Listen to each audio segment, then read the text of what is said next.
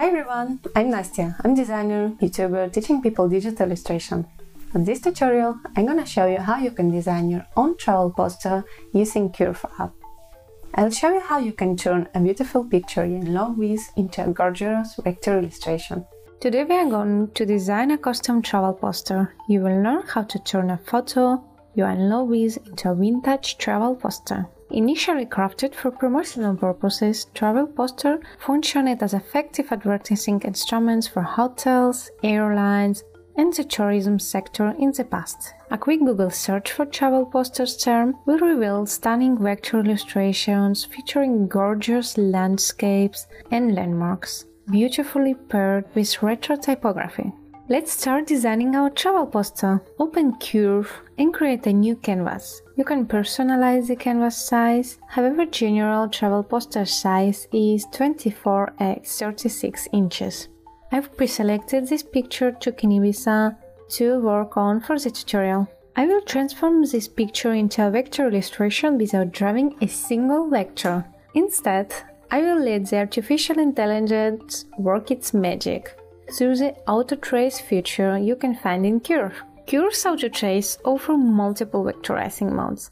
It's definitely one of my favorite tools when you want to speed up the things or get unique vectors. So, you can trace pixel pictures using auto trace tools in three different modes photography, sketch, and illustration. I have created three copies of the picture in order to show you what results you can get from each auto trace mode. Additionally, I encourage you to explore and experiment with different parameters of each mode, playing with amount of details, complexity, or contrast. Just have fun, really. Now we got our results, and I'm really in love with the results from illustration mode.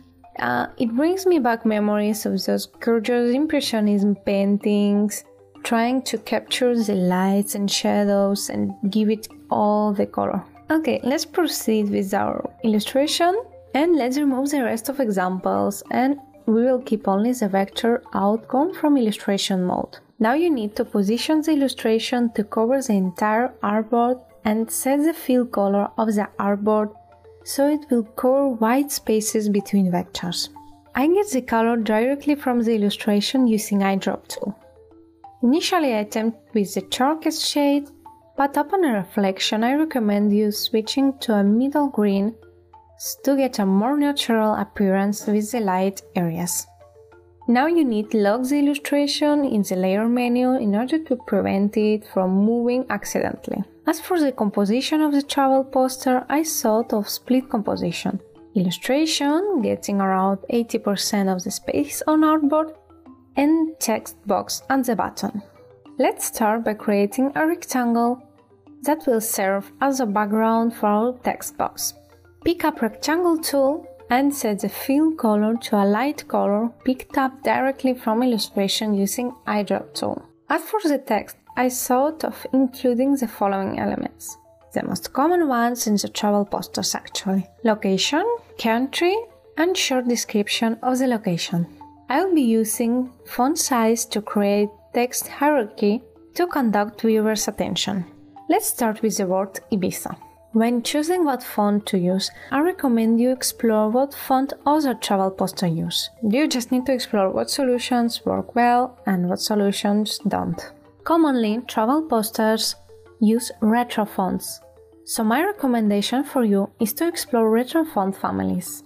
If fonts are not your strength, you can always check online resources like fontsinuse.com where you can explore beautiful font combinations. I picked up an available option, Futura Bold. As for the font color, I've picked up a nice blue color directly from the illustration, ensuring that the color palettes combine well with each other and the final result looks coherent and unified. Work with fonts don't end when actually you pick a font. Now you need to decide what adjustments your font actually needs in the context. You can experiment with different configurations, such as font type, bold, italic, regular, spacing between letters, or experiment with different font sizes or even colors or contours. Now let's add the secondary text that says Spain. Let's set the font size to a nice handwritten font like Allison and make sure to decrease the font size at least two times. Make sure the font combines well, but you have to be aware that the font still be legible enough. Additionally, don't forget to adjust the letter spacing. And now the question is, how do we combine these two lines? In visual composition, there is a clean space rule that ensures that each object has an ample space around. However, an alternative approach involves placing objects together, creating a visual hierarchy through the layers overlaid effect. Basically, you need to recreate that one object is on top of the other one, and to achieve a layer effect, you can always use a contour. Let's do that. Select the Spain text, turn on the stroke color and match the stroke color to the background rectangle's fill color.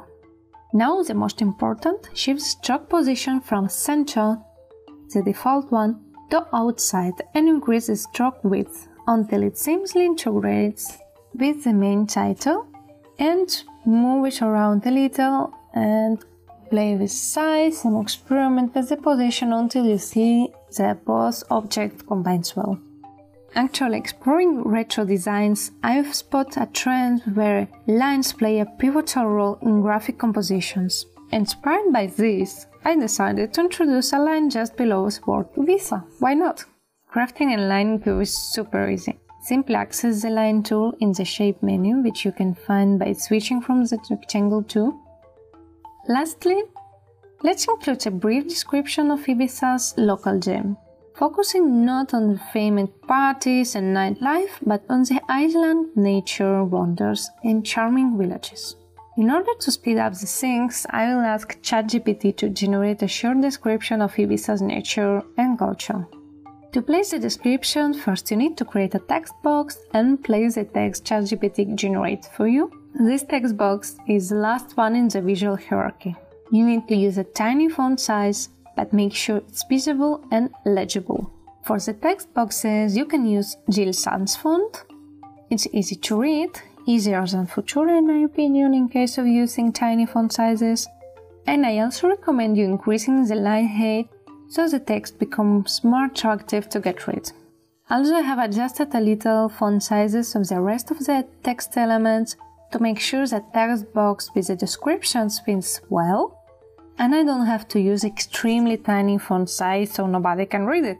Last detail that will help us achieve this retro look of our poster.